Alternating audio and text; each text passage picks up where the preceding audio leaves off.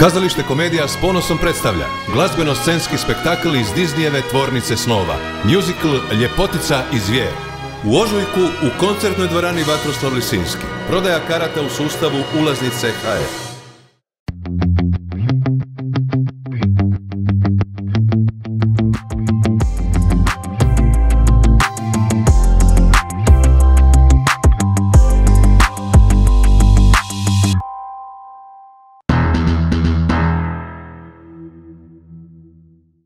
Dobar dan iz još jednog, ali danas ipak vrlo posebnog art kafea. Mi smo vama vjerni u nastojanju da otkrivamo, govorimo, kritiziramo, pokušamo doprinijeti umjetnosti i kulturi na svaki način.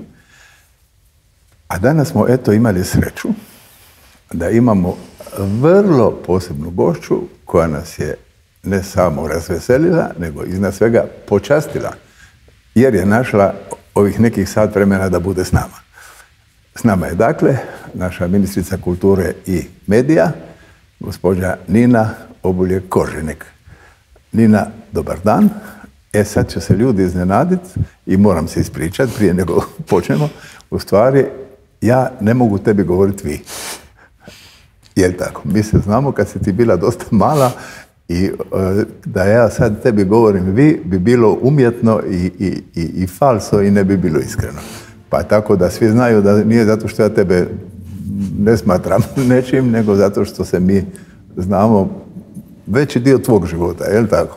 Istina. E, kako smo Hvala puno na pozivu prvo i, i, i hvala što ćemo i taj razgovor voditi u jednom e, neformalnijem okruženju. Sigurno.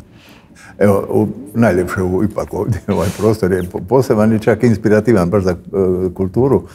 Ovaj, ljudi obično malo znaju ili jednostavno i ne žele neka znat o osobi o kojoj se radi, a to je nama stalo ovdje. Ja znam dosta toga, ali ja bih molio da ti s nama podijeliš kako si ti rasla, u kakvoj obitelji, e, što su te tamo učili, pa onda si išla u školu, koju školu, ajde, ajdemo to proći da vidimo da, mislim, malo tebe iz djetinstva. Djetinstvo je ono koje nas negdje formira, jel? Djetinstvo sigurno nas formira najljepši dio života, sigurno. ja sam imala veliku sreću da sam odrasla u Dubrovniku, to ne trebam e, tebi objašnjavati i ne bih to rekla iz nekog onog osjećaja neke više vrijednosti što znaju reći ovi sad vi mislite da ste Bog zna što jer ste iz Dubrovnika. Ali e, taj grad je po svemu bio nekako po mjeri e, čovjeka a posebno ako netko ima afinitet prema kulturi, prema umjetnosti onda je taj osjećaj da ti zapravo odrastaš okružen tom ljepotom, nešto što sigurno svatko od nas nosi kasnije u život.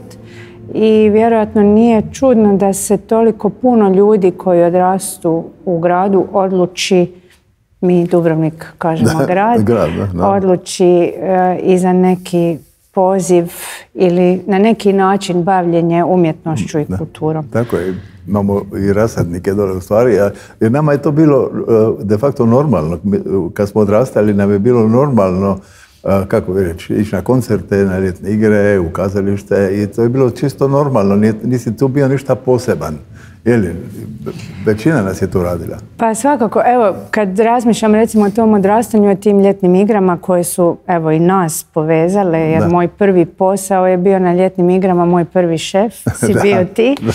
Onaj, ali sjećam se zaista kao malo dijete, roditelji su nas uvijek vodili na koncerte i smijem se, ja mislim da se kod dijete nigdje nisam toliko naspavala kao u Kneževom dvoru. Jer je to bilo naporno za mene kao malo dijete poslije cijelog dana kupanja, ali oni su inzistirali da idemo i onda ti neki zvukovi, te, te neke uspomene zaista odneseš uh, kroz život. Ja sam bila možda dijelom su tu afiniteti, dijelom sam i po nekom odgoju bila usmjerena relativno rano mhm. e, na neko, ne bih rekla bavljenje, ali učenje o kulturi, o umjetnosti, e, o jezicima. Moja nona je bila profesor jezika, ona je inače da, odgojila generacije, inače je govorila osam jezika, Da. a četiri je studirala. E, tako da sam uz nju e, imala taj segment jezika, svi smo nekako išli u muzičku školu, to je bio neki normalni dio odrastanja, tako da je Imala si doma klavir? klavir, brat je svirao klavir, pa je onda da ne bi bilo nekakve svađe oko klavira. I roditelji su i tata i mama su svirali klavir. I onda kao da ne bi bilo, ne znam, od pustog vježbanja svađe za instrument, mene je dopala violina koju nikako nisam voljela, zapravo Ajde. jako dugo. Ajde. Jako dugo, cijelu, mogu reći čak nižu školu, to je bilo baš onako e, e, sa veliko, voljela sam ići u muzičku školu, to mi je sve bilo zadovoljstvo, ali violinu ne i onda se nešto dogodilo u nekom trenutku na čuđenje svih da sam se odlučila e, Kasnije na kasnije, na evo čak i upisati muzičku akademiju i činilo mi se jedan dobar dio mog života mi je to bio tog formativnog zaista nešto najvažnije i bila sam potpuno posvećena glazbi. Da, to ja sam svjedok, potpisujem. Ovaj, da, dakle, u tako lijepom okružju sa tom nonom, legendarnom nonom, jeli, koja je i dugo poživila, na sreću mnogih, jeli, i naročito obitelji, naravno, ovaj, e, dakle, negdje je logično po svemu, ovome što smo do sada spomenuli da si e, dakle otišla ili otišla u kulturu, kako bi rekao, otišla u kulturu, e, nisi sigurno nikad mislila da ćeš baš biti ministrica, vjerujem da nisi, ali, ovaj, ali eto po meni kao promatraču je vrlo logično da si ti to postala, obzirom na to ti si završila dakle najprije e, studij violine na, ovdje na Muzičkoj akademiji, a onda si opet pisala filozofiju, francuski i... Francuski i komparativnu književnost, zapravo sam to paralelno studirala, ali violinu sam završila u roku, a onda sam se poslije O, malo pomalo, da. posvetila filozofskom, da. I onda si još napravila doktorat iz... Magisterij i doktorat u područjima baš kulturnih politika i medijskih politika. To je nekako, onda sam se usmjerila više prema tom znanstvenom radu jer sam počela raditi u Institutu za razvoj i međunarodne odnose i onda me je to zapravo odvelo prema nekako znanstvenom bavljenju e, tim temama i zaista prekrasnim iskustvima doslovno po cijelom svijetu, osim u Australiji. Da. Na svim kontinentima sam bila s poslom, bilo angažirana kao predavač ili na nekim konferencijama, projektima.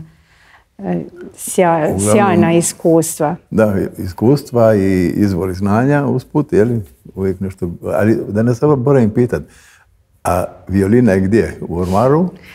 Da, to me često pitaju. Ja uopće ne sviram, što je možda neobično, ali za mene je jedno vrijeme nakon akademije sam svirala, a onda kako sam prestala vježbat, to je čak postao i pomalo izvor frustracije, jer u glavi sve imaš, ali u prstima više nemaš. Da, da. da. I onda sam zapravo potpuno prestala svirati. Imam dva instrumenta i oni su uvijek posuđeni nekim đacima ili studentima slabijeg imovinskog stanja koji ne mogu si možda priuštiti da. instrument. Tako da u ovom trenutku jedan je kod nekog studenta ili studentice na akademiji, a jedan je kod jedne učenice u srednjoj školi. A, lijepo. A, to je lijepo. Tako da ta violina živi, to je važno. Za instrumente je inače važno da ih se svira, a i meni je drago da ne stoji negdje i da se tako gledamo, nego da znam da netko... Pa da, tako i tvoja, E.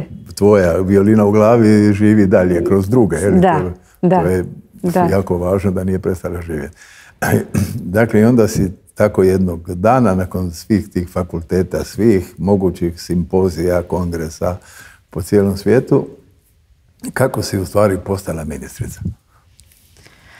Pa ne znam, zapravo, ja sam znači završila akademiju, onda sam završila filozofski, onda sam se prijavila na staž u UNESCO, onda sam otišla u Pariz živjet i radit. Tamo sam bila nešto manje od dvije godine.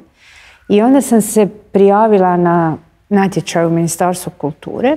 Tad je ministar bio Biškupić, Da. Božo Biškupić, legendarni ministar od tri Da, mandata. da. Naročito slikarstvo, ajmo dalje. Da, i ja sam došla, onaj, tamo sam se zaposlila i kako to već bilo prvo vrijeme, ono, svi kao trebaju pomoć, ali ovi stariji nisu mi baš htjeli dati puno posla. Ja sam došla Mhm. puna energije i zaista u Parizu sam bila u uredu glavnog ravnatelja, jako puno sam naučila i mislila sam tako sa 28 godina da ja jako puno mogu dati i da nisam iskorištena.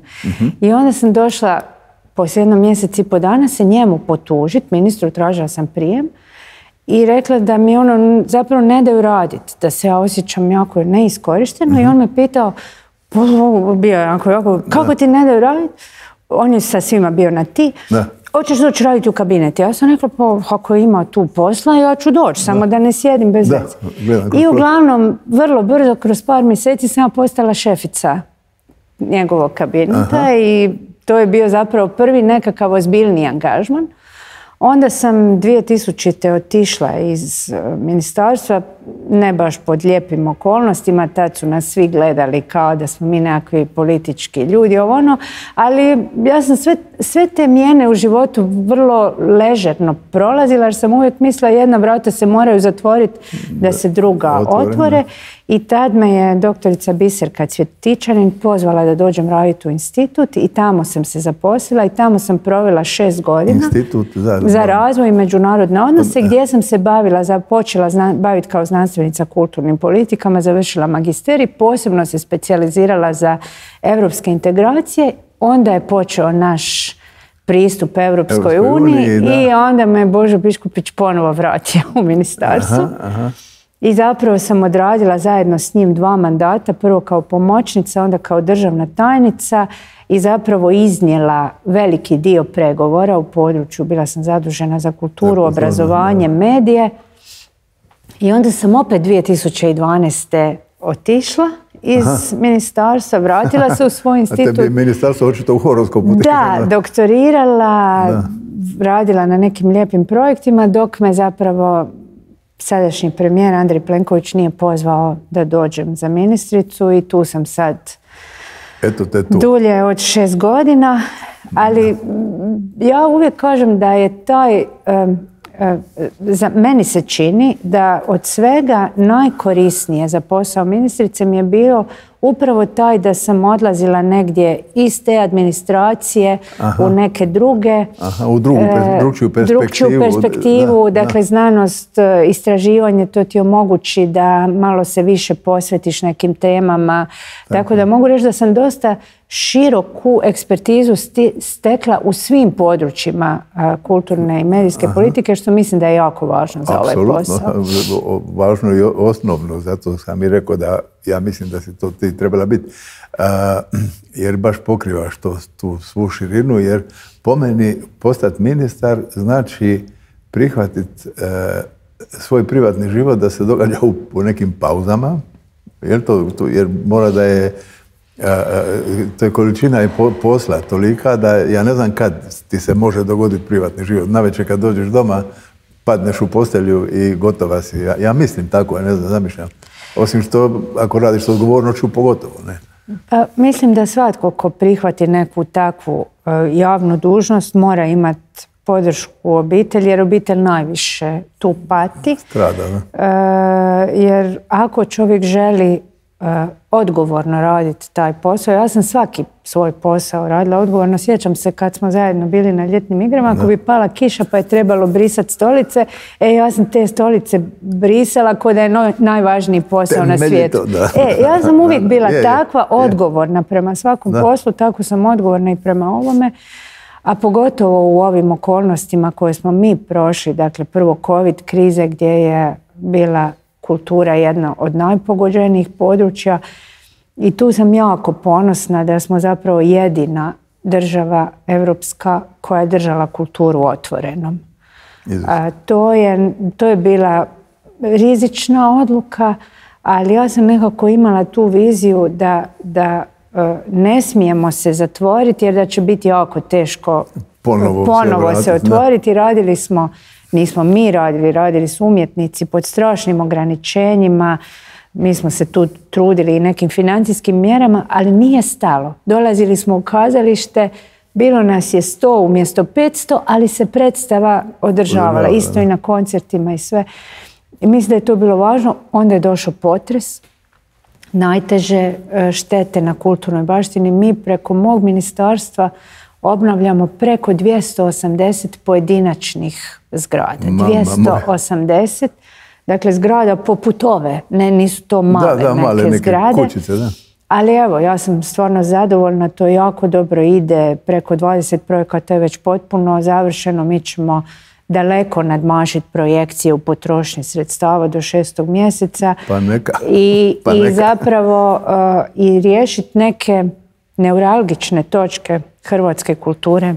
Kao što je gla- glazbena dvorana, Glazbeni zavod koji će biti kakav muzik Feranja, mislim da će oni dolaziti, Jedan, jedan, oni će dolaziti Moramo gledat. biti bolji, da. Muzičare imamo, sad samo muzičare imat ćemo, imat ćemo stvarno, to, to je fenomenalno, tu se otvaraju i nove dvorane u Podkrovlju, u Podrumu, to će biti pravi dom To hrvatske glazbe, povijesni muzej na Gornjem gradu, muzej na Ive, druga scena HNK koju se čeka je 100 uf, godina. uf, uf, uf. Tako da e, u toj nevolji i strašnoj nesreći e, nekako smogli smo snage pogledat malo i u budućnosti. Mislim da ćemo neke, neke e, probleme riješiti koji su se stvarno desetljećima vukli. Dakle, uza sve što ministarstvo je kompleksna jedna e, stvar, je li, sa toliko odjela, jer ima toliko raznih aktivnosti, je li, od, ne znam, biblioteka, kazališta nacionalnih,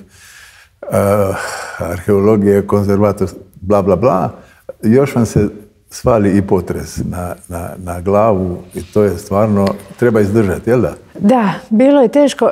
Recimo, ja sad onako rijetko a, stignem zbog količine posla rekapitulirati, ali neki Da. dan sam sa svojim kolegama razgovarala. Dakle, bio je lockdown i nakon desetak dana se nama dogodio potres. I sad, mi smo isti taj dan, u nedjelju ujutro je bio potres, ja sam u nedjelju u šest popodne imala prvi sastanak sa konzervatorima, sve smo ljude vratili na posao, dakle ne znamo kakva je bolest i vraćamo se kojoj ekspertizi, ekspertizi domovinskog rata.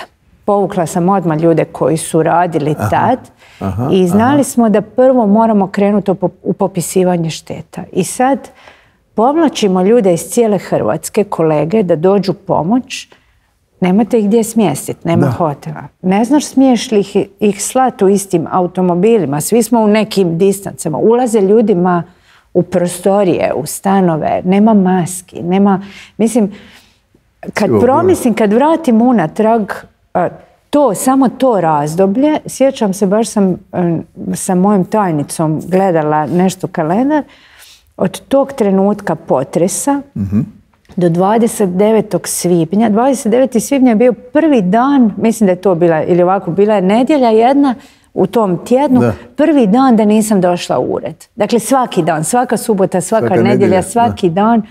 A, t- ali, ali beskreno sam... ono u tvom, nije što imaš Twing, ovako nešto, ne, imaš, koji auto? Ja imam privatni auto, imam polo, inače najviše E, Polo, volim Polo, Polo. bicikl. Da, a ali sad u Polo iz ministarstvu... koje? 2000? ovako? 2006. Šeste, da, da, da. Ne patim na E, aute. ja znam da si jedan put išla, valjda nešto bilo hitno na vladi i nešto je bilo i ti si sjela u svoj, dakle kao ministrica u polo iz 2006. Ma nema veze, mislim, ja Ne, nikad nisam... Simpatično, lijepo, lijepo vidjeti, ne? Sad se vozimo, to sam jako E. ponosna, kupili smo uh, električni auto, pa se sad vozimo, zovem ga od Milja Strujko, Da. pa se vozimo po gradu u Strujku. ono. Ekološki i jeftino, jeftinije, jel? Pa mislim, da, mislim da ono, evo, da je to neka poruka Lijepo, koju da. svi moramo Da, slati. Prekinuo sam, dakle da, e, za sve se još navalio i potres i sad taj ogromni beskonačni valjda posao, ali vidim da ide, ovaj, čujemo da ide dobro i od prijatelja iz, iz ovog svijeta, jeli, koji su jako zadovoljni baš Ovaj, baš smo neki dan pričali sa Goranom Končarom koji je bio ovdje, e, pa se iz razgovora povukla jedna paralela kako mi imamo fantastične glazbenike stvarno svjetskih kalibara, jeli? ali nemamo glazbenih dvorana. Isto kao u nogometu. Imamo fantastične nogometaše, nemamo stadiona. Dakle, ok, sad ćemo ovo, jedan dio ćemo bar sad ispraviti sa, na primjer, glazbenim zavodom. Tu treba odati veliko priznanje predsjednici glazbenog zavoda mhm. Romani Matanovac Vučković koja je, jer to je udruga građana, to mnogi ljudi nije, ne da, znaju. Da, nije državna institucija. I ona je zaista bila hrabra. Nakon zagrebačkog potresa ona je valjda prva postavila skelu i naručila radove. Uopće nije imala novaca i e, s nekim pozajmicama su to rješavali. Mi smo nešto pomogli s tim hitnim mjerama i zapravo da se nisu te hitne mjere poduzele, teško bi ta zgrada uopće bila izdržala petrinski potres. A sad ćemo tamo dobiti e, vrhunsku koncertnu dvoranu, restaurirat će se te freske koje su se otkrile, dobit će se dodatni prostor i tonski studiji, arhiv HGZ-a koji je jako, jako bogat. Bit će digitaliziran, bit će javno dostupan, tako da baš se nekako, mislim da će svi glazbenici biti presretni kad I htjeti tamo da. nastupat. dobro, idemo malo prema Beču, ovo mi je draga mi je ova usporedba sa Ferajnom, jer Zagreb to zaslužuje. Uh, ne samo sada, nego odavno. I lijepo, eto, ali se tebi dakle u mandatu baš dogodilo eto, dvije te grozne situacije kad uz, uz onako, naravno, nikad dovoljan budžet, jer nikad nije dovoljan, e, se imaš brinuti još i za ne znam, za umjetnike koji nemaju od čega živjeti, za zgrade koje se moraju popravljati, na sve ono što e, inače ministarstvo radi, kao što su recimo konzervacija, znam, vezan sam na neki način, ovaj, e, imamo što konzervirati također, naše nasljeđe e, do, vrlo veliko. Ovaj, imali, imali nekih novih stvari, pomaka unutra, imali, li si ti, jesi morala kad si došla kao ministrica, jesi osjetila negdje u nekim, barem segmentima ili općenito, da trebaš i da li si onda, jesi li onda e, mijenjala neku strukturu nečega unutra ili trebalo ili bilo stvari koje su stvarno tražile neku promjenu organizacijsku, ne znam, institucijsku? Pa mi smo dosta toga, onako, ja inače sam sklona reći da trebamo evoluciju, a ne revoluciju. Mhm.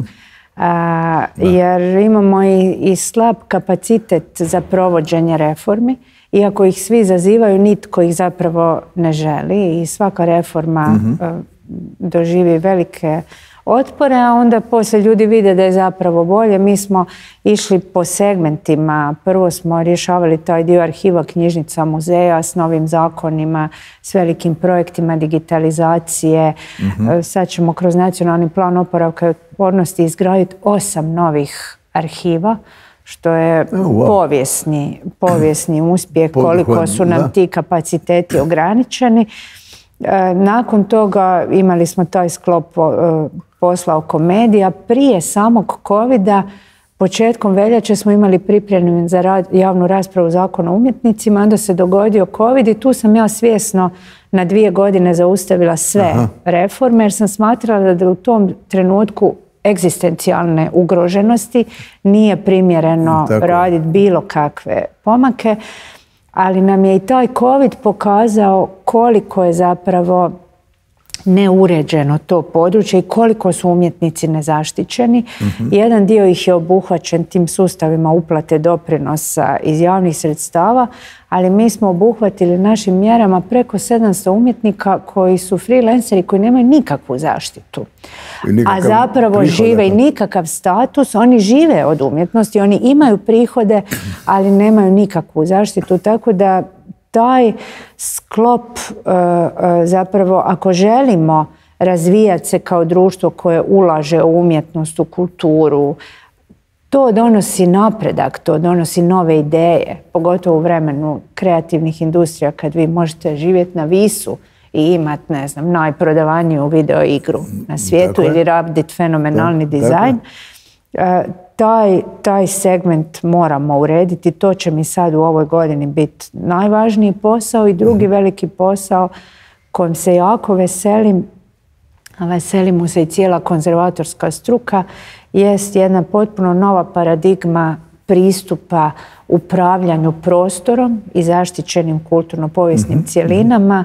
Zato to i pitam, jer znam da je Tu smo imali puno poteškoća, nejednakih postupanja, nezadovoljstva nas konzervatorske struke s tim kako drugi tretiraju prostor, ali istovremeno i drugih našom sporošću, nekad arbitrarnošću. I sad zapravo smo u tom velikom projektu da ćemo za sve kulturno-povijesne cjeline izraditi takozvane konzervatorske podloge. To su kao katalozi svih građevina gdje će zapravo svakom građaninu i svakom potencijalnom investitoru ili onome ko obnavlja kulturno Da, da. dobro na klik biti jasno što se tu smije, što se ne smije.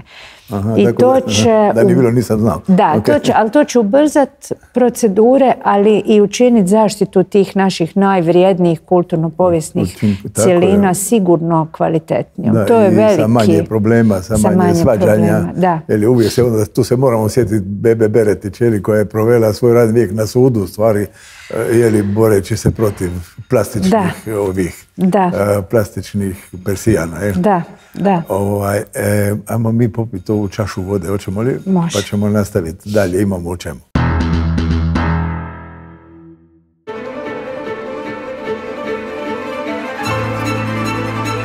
Sve one lijepi imaju pravo da nas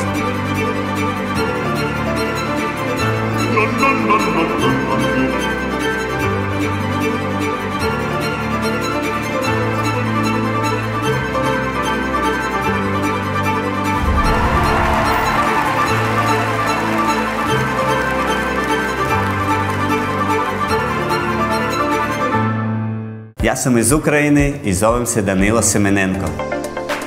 Sad živim u Zagrebu i pomažem ljudima da budu zdravlji uz vrhunsku medicinsku opremu za kućnu upotrebu. Noga Best je inovativno korejska tehnologija koja pomaže kod velikog broja tegoba i poboljšava zdravlje. Besplatno isprobajte tretmani na masažnim kreveta sa tormanjevim keramikom i učinite nešto za sebe. Noga Best donose zdravlje u svaki dom.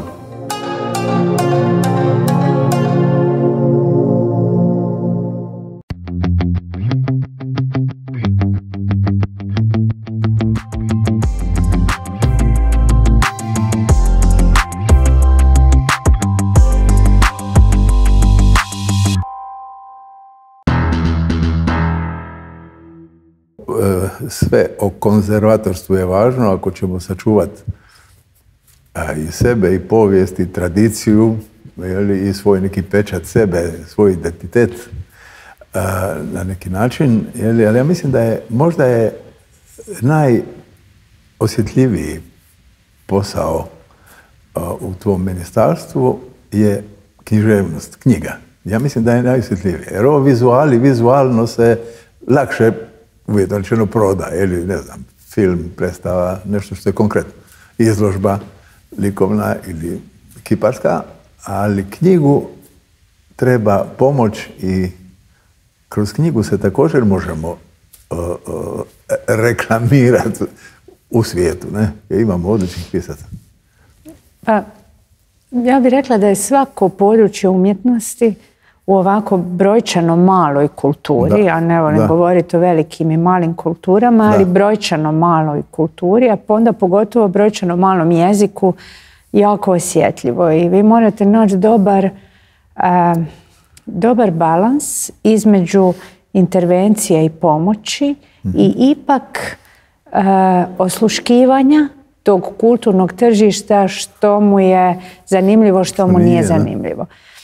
Kad govorimo o knjizi, na početku mog mandata u sjeni propasti Agrokora, koji je tresao hrvatsku ekonomiju, društvo, tu smo krizu mnogi i zaboravili, mi smo imali svoj mali Agrokor u kulturi, koji se to je? događao sa propašću algoritma, koji je u tom trenutku bio najveći knjižarski lanac, dužan svim nakladnicima, potpuno isti model.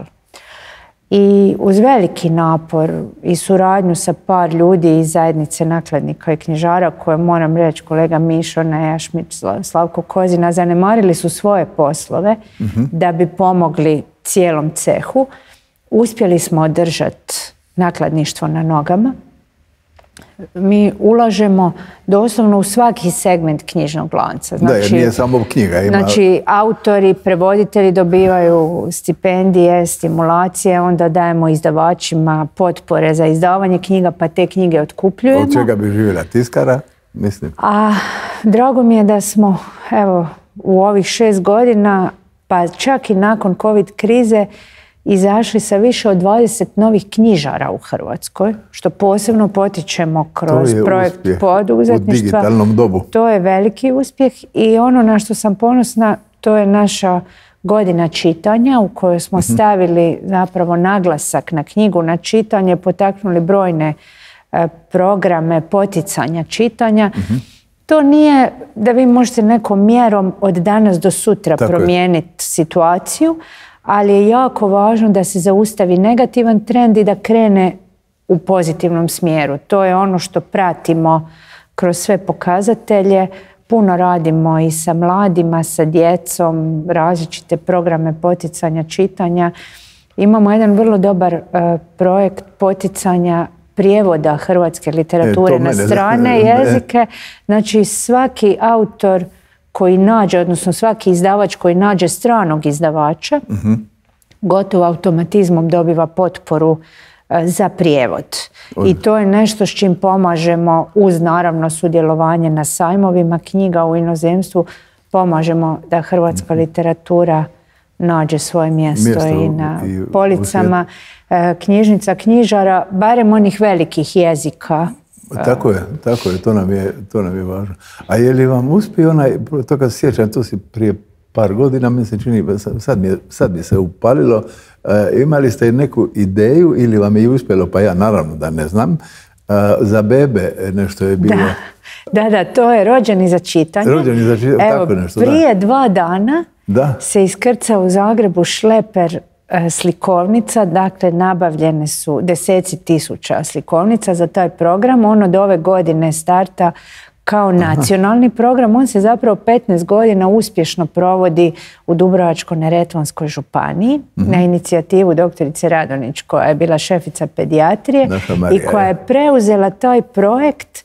E, To je jedan talijanski projekt bio Nati per leggere.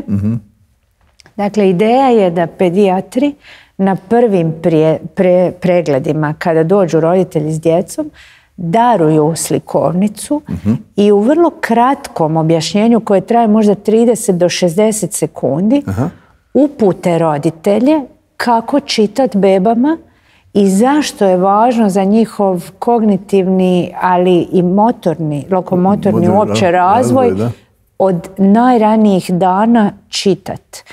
I onda zapravo na sljedećim pregledima mi imamo, mislim, za šest mjeseci godinu, dvije godine i šest godina. Dakle, na svakom od tih pre- pregleda roditelji će dobiti novu slikovnicu koja daje nove upute, dakle osim što je to zanimljiva slikovnica, radili su je u Hrvatskoj naši autori i dizajneri, Lijepo. ona uključuje i uputu za tu dob, Dob, da, što da. je važno na koji način djetetu čitati. To je strašno važno. Uh, Talijani prate taj projekt već više od 30 godina i točno se vidjela krivulja kako im je počelo poslije 7-8 godina provođenja Da, tog da. programa. Počeo je rast udio ljudi koji čitaju. Počeli su postizati veće, više rezultate i na PISA testovima kasnije kad se prate kroz obrazovanje. Da.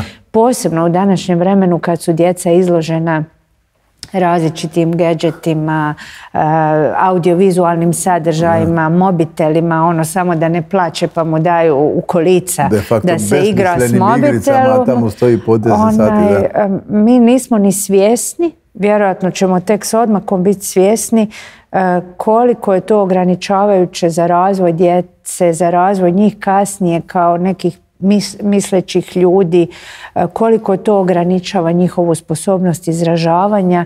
Dakle, stvarno moramo uložiti velike, velike napore da tu kulturu čitanja kroz cijeli život Baš od e, nule. nastavimo ono, njegovati. Baš od nule, Da. to je, da, u- u svemu je važno, zato smo mi i počeli sa djetinstvom. Jeli, ovaj, isto kao što je za kazalište odgoj mlade publike, dovođenje djece iz, ne znam, iz vrtića do, do dalje. Jeli? Tako je i ovo. Iako, to je ovako neke stvari koje mene vesele čut. Ovaj, e, dakle, rekli smo, bit ministar znači ti je privatni život u pauzama. ovaj, da, ali svejedno i puno se mičeš, puno ideš tamo ovamo, ideš, putuješ, imaš do Slavonije, do dole, do Dubrovnika. Ovaj, ima li nešto što te posebno baš brine ili nešto što te baš posebno veseli u tvom poslu općenito? E, pa ne znam što bi rekli, nekako se trudim e, taj svoj fokus ravnomjerno rasporediti na sva područja. Nisam od onih ministara koji ima neko svoje omiljeno područje, pa da se tu vidi neka veća briga nego na neko drugo. E, kažem, ovo je vrijeme stvarno vrlo teške situacije, e, velikih kriza i trebalo je kroz sve to preživjeti.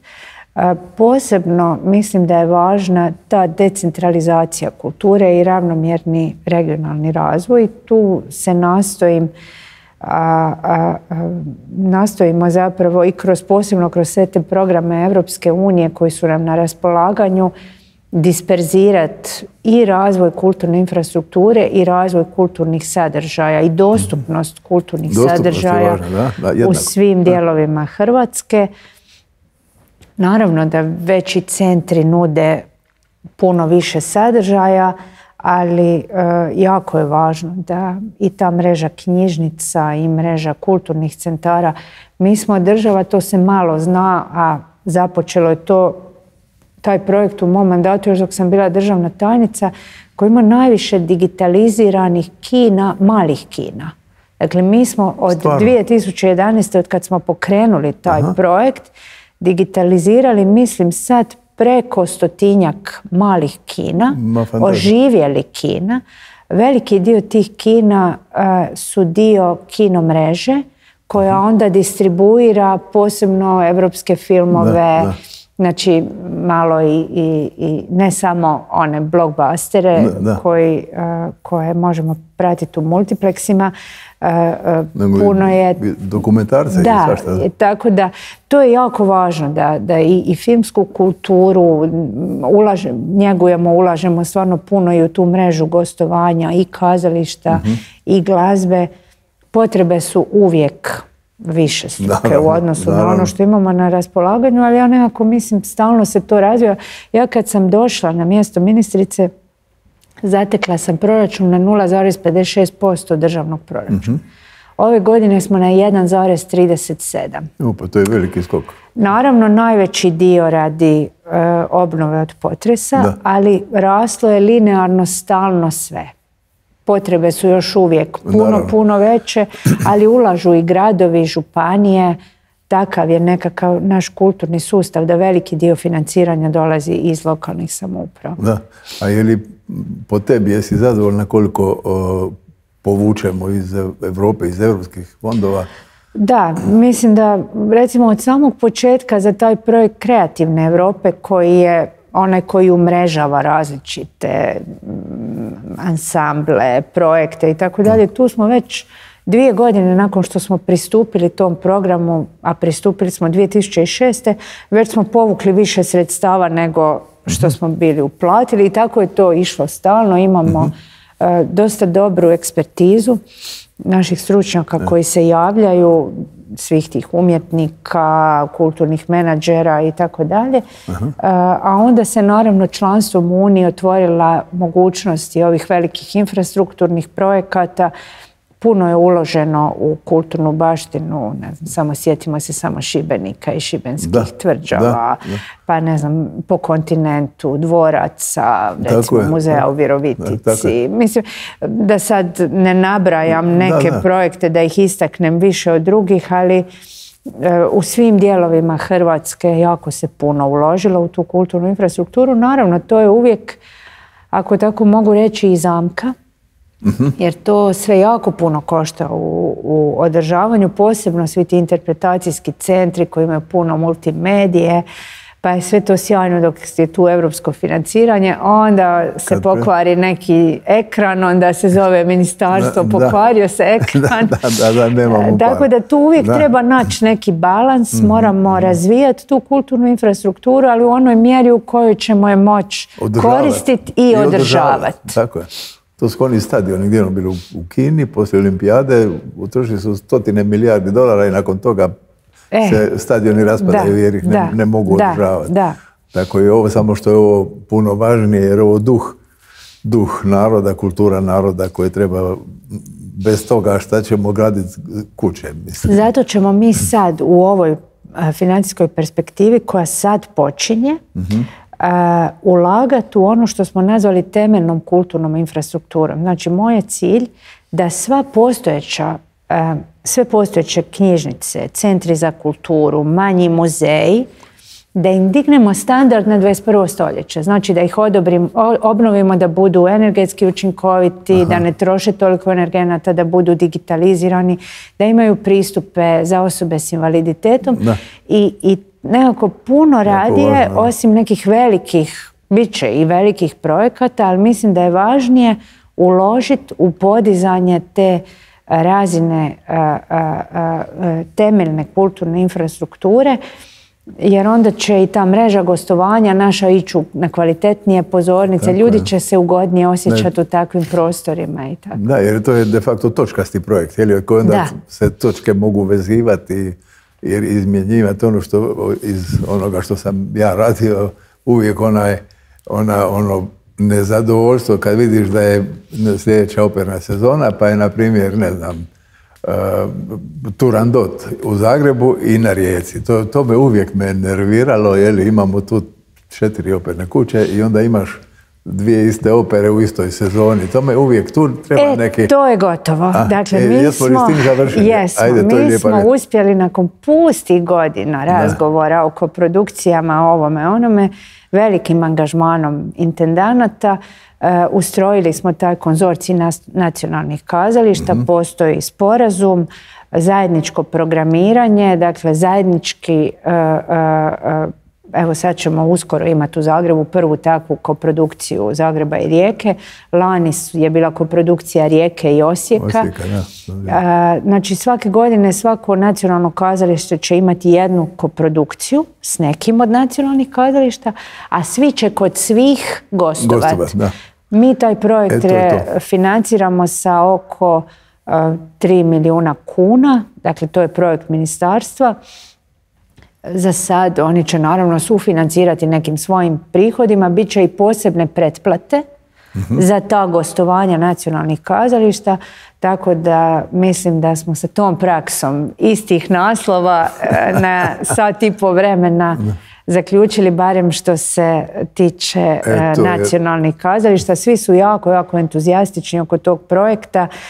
Ja se isto veselim. e, Veliku smo podršku imali i inicijativu intendanata. Na sličan način osmislili smo i koncertni, jedan koncertni ciklus u prošloj godini, dalmatinski koncertni ciklus koji je povezao Zadar, Split i Dubrovnik, a ove godine smo otvorili uh, za natječaj i za druge dijelove Hrvatske. U Osijeku se pokreće, dakle, redoviti koncertni ciklus, tako da i tu nam je namjera zapravo podignut malo tu razinu i organizacije i suradnje i profesionalizma u organiziranju kulturnih događanja. Još nešto što nemamo kad govorimo o kulturi, to nemamo takozvane agente, to je, ali nije stvar države, Da. to nije stvar Da. ministarstva, ali agenti ne postoje u Hrvatskoj, to je baš, ne znam zašto, ja sam bio nešto pa sam odustao, odustao sam iz komoditeta, ne iz što bih se ja toga prepao, ja sam ipak to na neki način radio. Jer ali je šteta za umjetnike, tu imaš, ko- imaš odličnih inicijativa E, recimo od e, Male Buge Šimić, je koji ima program edukacija umjetnika, odnosno onih koji će završiti akademiju, izađu i nemaju pojma što je ugovor. Je li, dakle, od toga svega, jer su ipak samostalci, su ipak negdje sebi i menadžeri i, i nabavljači. A nemamo agente, to fali. A imamo, imamo što prodat. Da, bez moram pro- pohvaliti ali- Hrvatska glazbena unija i, i novi predsjednik Dražen Baljak, ali to smo još sa, sa, sa Nikšom Bratošem razgovarali. Mhm. Oni pokreću, zapravo su pokrenuli ured za izvoz hrvatske glazbe. Uh, u prvoj godini mi smo čuo, im da. osigurali za, kao početnu investiciju nešto više od 30 tisuća eura, ali smo se dogovorili da ćemo paritetno znači, financirati Da. taj projekt i tu polažem veliku, veliku nadu da će kroz taj ured eh, zapravo se krenuti profesionalno plasirati bi hrvatska glazba, a onda ćemo vidjeti, zove, da, a onda ćemo vidjeti je što dalje. Da. Jer kad gledaš ove naše, e, i to sve ide, znam, i po velikoj dunji vezovi, to sve ide tako na nešto, na privatno, pa neko nekoga preporuči, pa onda ovi očešli za toliko love. Ili imaju vanjske agente. Ili imaju vanjske agente, vanjske da. agente, da. Šteta je bez Da. Dobro, ali to, ovo mi je drago čuti da se to ipak na neki način riješilo, a valjda će neko izroniti iz ovoga svega, hoće reći ja ću biti agent, jel? Mi smo svakoga ko se s tim bavio, barem u mom i ovom mandatu i u onom prošlom mandatu kao državna tajnica, uvijek sam inzistirala da se takvim agencijama, bilo ih je nekoliko, da im se omogući financiranje, ali jednostavno je- ne, ne mogu procijeniti je li tržište premaleno, je li se previše toga događa e, negdje na ovim izravnim dogovorima. Trebali bi se svi zajedno kao ceh dogovoriti da će se raditi profesionalno po nekim minimalnim e, Standardima. naknadama, standardima i tako. da. Onda bi tu mogli doći agenti, ali dok imamo situaciju da ljudi ono negdje pristaju za jedan honorar, pa negdje za drugi, pa negdje besplatno, pa to onda sve zajedno ruši zapravo e, to tržište. E, Da, jer nemaju norm, standardizirane Da, norme i onda je to baš da. kaos. je li? Dosta smo tu razgovarali i sa predsjednicom društva filmskih djelatnika, onda oni isto imaju stalno tu inicijativu zapravo da se uvedu neki, neki minimalni, uh, minimalni iznosi honorara ispod kojih se ne ide.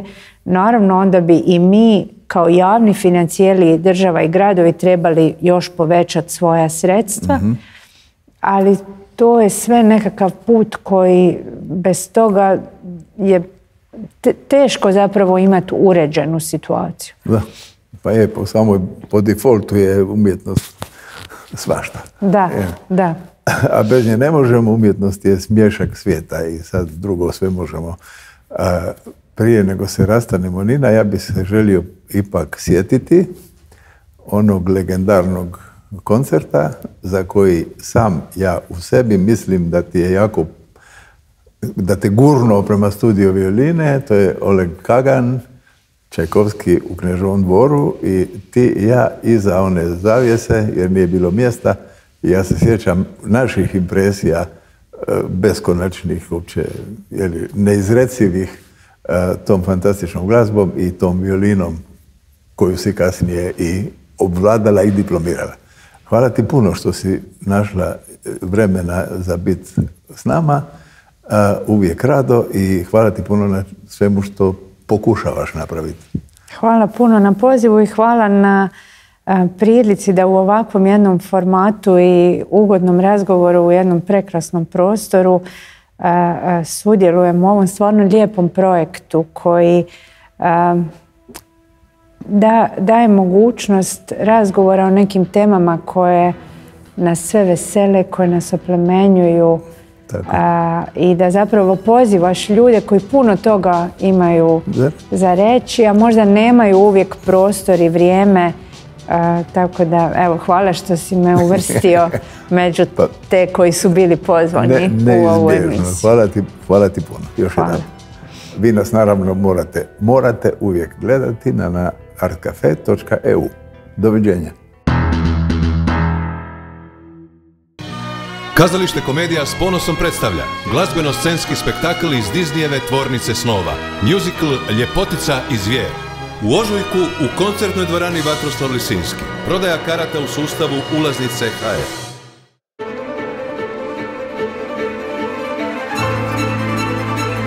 Sve one lijepi imaju pravo da nas